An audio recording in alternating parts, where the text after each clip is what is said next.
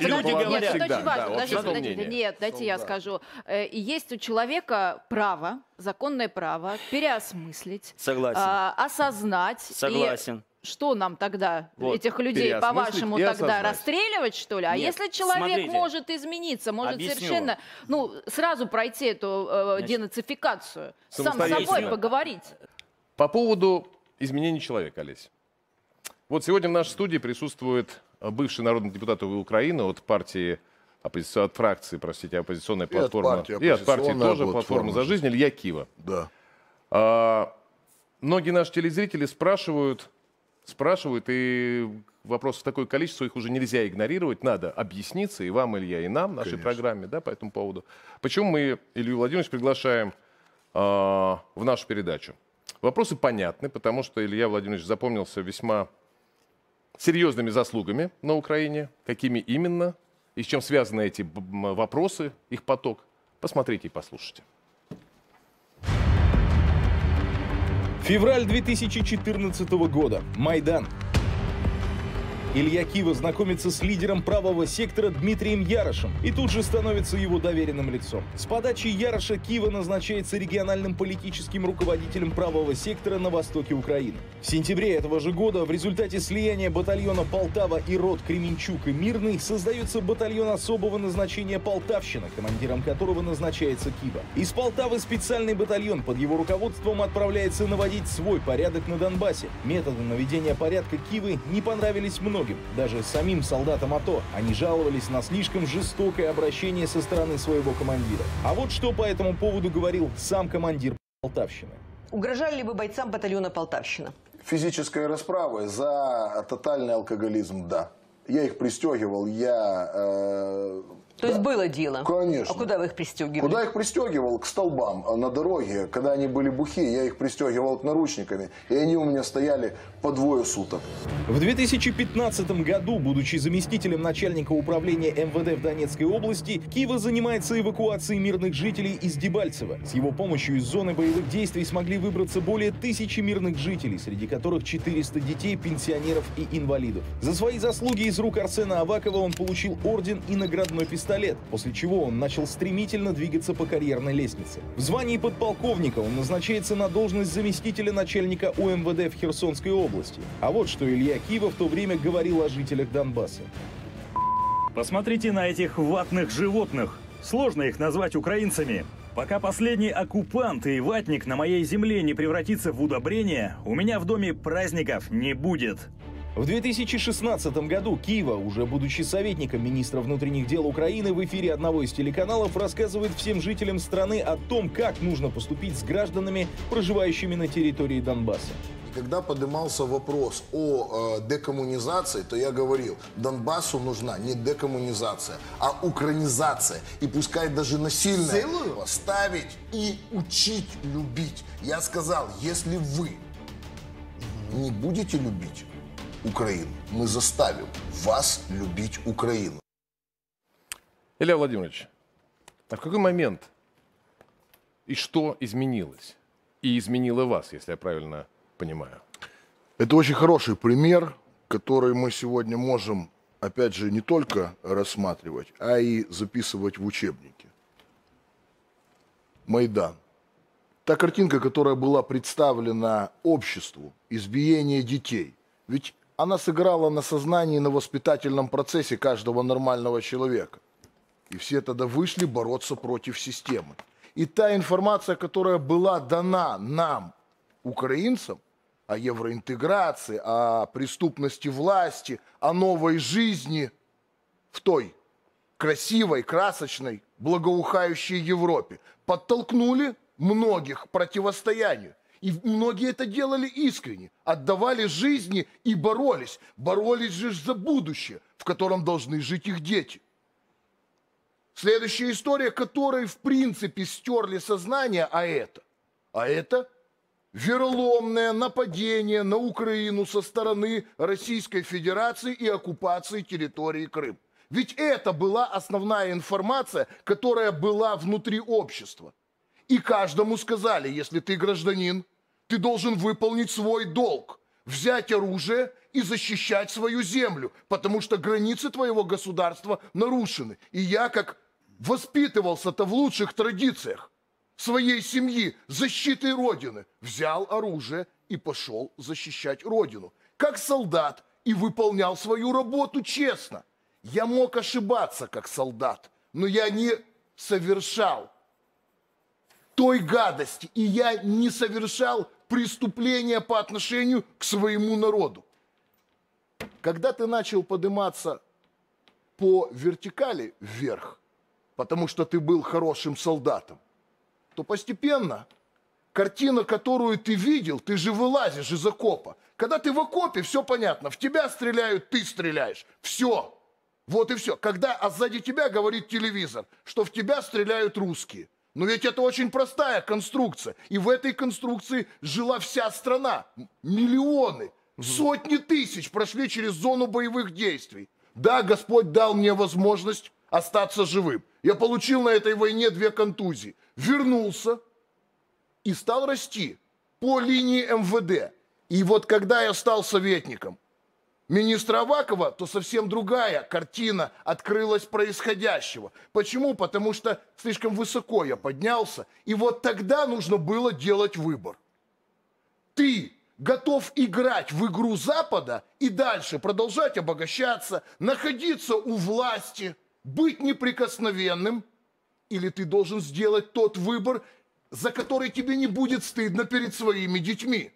И вот тогда, на должности советника Авакова, я пришел в политику, потому что войны воюют солдаты и умирают, и в землю ложатся солдаты, а войны начинают и останавливают политики. И для меня, для меня как человека, который прошел весь этот путь осознания, было очень важно не просто изменить свою точку зрения, а сделать все для того, чтобы остановить эту войну и вырвать свою страну из лап внешнего управления. Потому что, будучи советником министра внутренних дел, да, я увидел о том, как контролируется моя страна американским посольством. Конечно, ведь тогда я стал ходить по большим кабинетам и видеть, кто в действительности управляет Украиной и чьи в действительности мы выполняем задачи, ради кого происходит война на Донбассе. И та история о сепаратизме,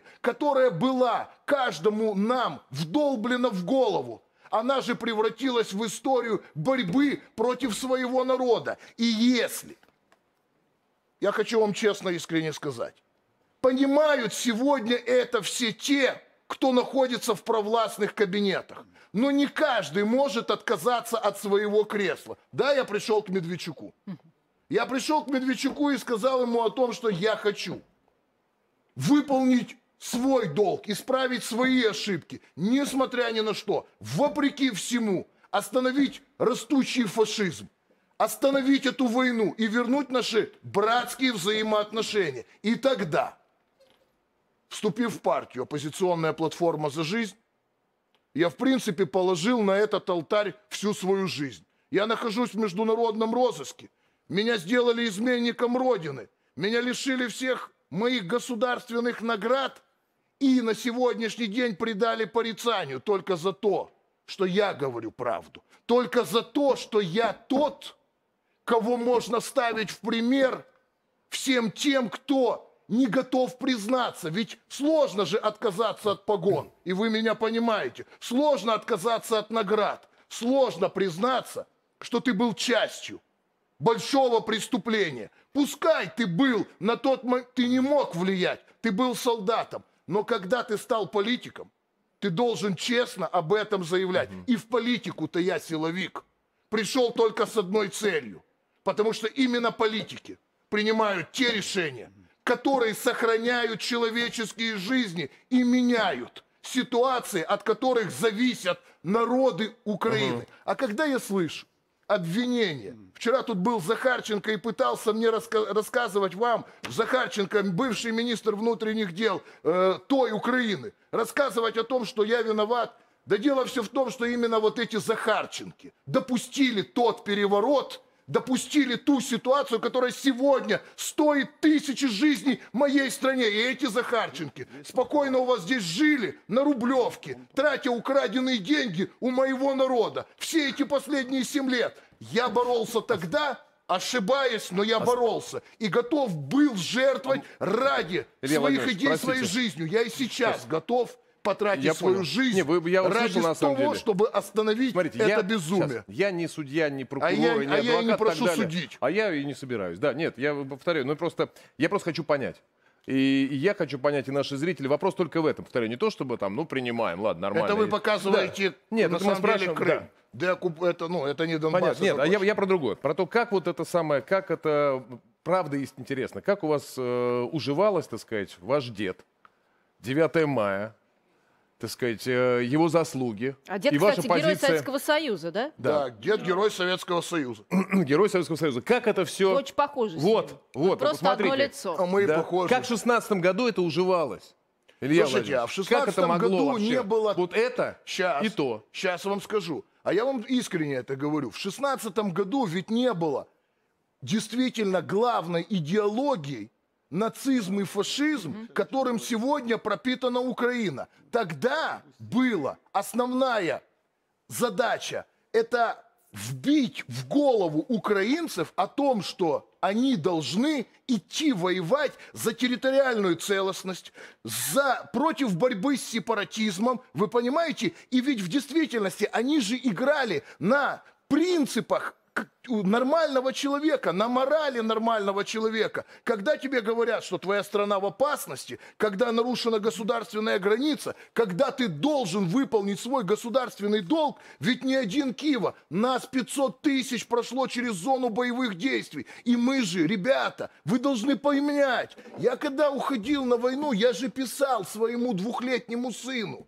прощальное письмо о том, что я, отец, выполнил, как и дед, свой Понятно. долг перед Родиной. И ты, сын мой, когда, не дай бог, в наш дом придет война, ты должен выполнить также свою роль. Вот это Я самое понял. страшное преступление той власти, которая использовала таких, как я, для всего лишь навсего достижения вот своих грязных Даже не своих, американских, если я правильно вас американских понимаю. Да. целей. А Владимирович, потом вернулся. Я Вы увидел. поняли, Сейчас, что. Родина одна. Еще один вопрос, Да. надеюсь, что последний. Вот А по- я не по- думаю, что нет. Ну, как скажете. Да. А, 9 мая, и вы устанавливали возле Вечного огня, как называется, патруль. Какой караул, Караул, да? караул, да. Послушайте, вот я, а, это был на, на ноябрь 17 а, на, на ноябрь 17 караул. Вот скажите, пожалуйста, а, во-первых, сам факт того, что в стране, вот, так сказать, у- в стране такая обстановка, что вокруг вечного огня не просто дань памяти, но и физически его надо охранять от, э, от того, чтобы над ним не надругались. Бетоном хотели залить. Чего хотели? Его же залили. Залили. Его в В итоге чем, залили. в чем же была проблема? В том, что вот именно тогда, когда история и ситуация на Донбассе, а мы будем объективны, 14 16, 15 год это основные, основные года вот такого тяжелейших боев, которые проходили на Донбассе. Иловайск, Дебальцево, да. то есть, ну, это 14-15. критически. Потом стало все полегче.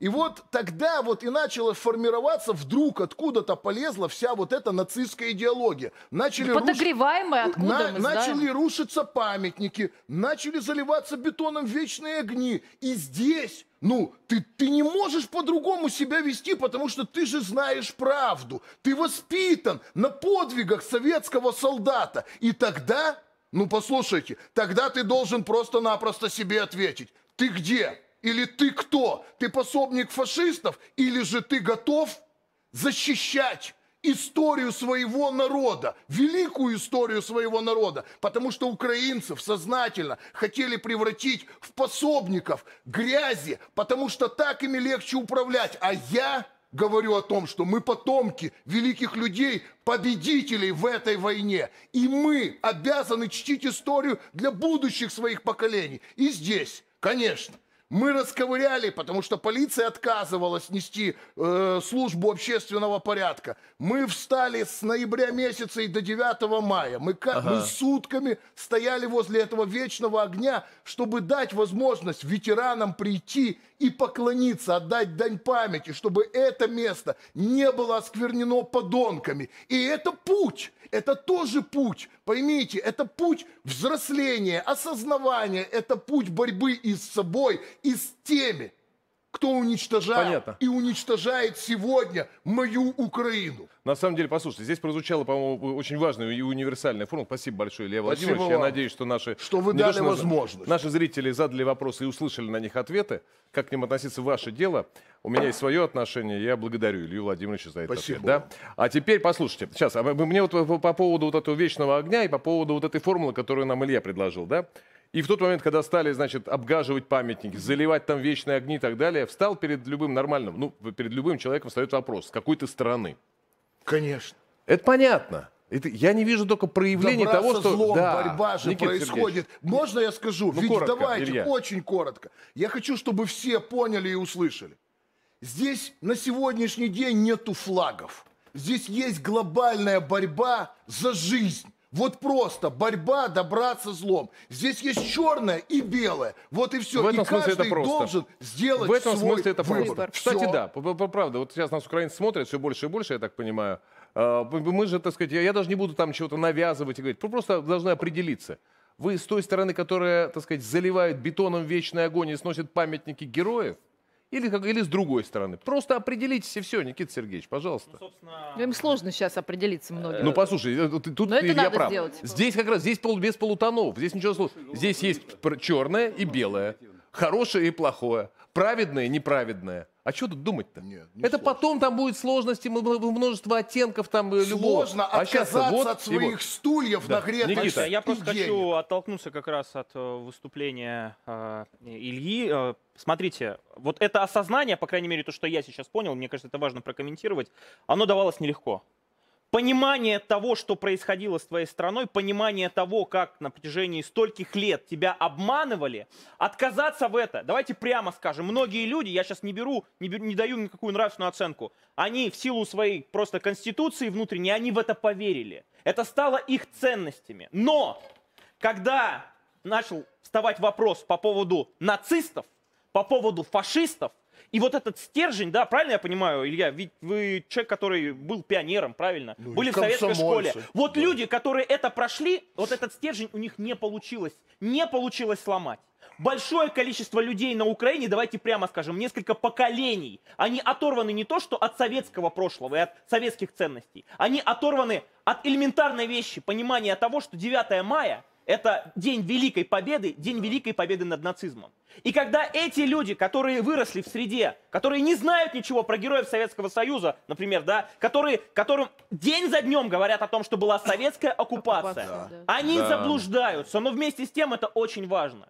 Несмотря на эти заблуждения, на мой взгляд, если сейчас они берут в руки оружие против ребят, которые сейчас, на, на мой взгляд, освобождают Украину, я считаю, что вопрос вот этот нравственный стоять не должен. Это те же самые враги. Я очень надеюсь, что те, кто сложит оружие, те, кто поймут, что они заблуждались, они смогут стать частью Да, точно так же, как и я, Ильи нормального И я в это верю. но вместе с тем я в это на- верю. наши герои освобождают Украину, и я надеюсь, что помня историю великих предков, они обязательно это сделают, и вот этот морок, который был над украинским обществом, скоро спадет. Развеет.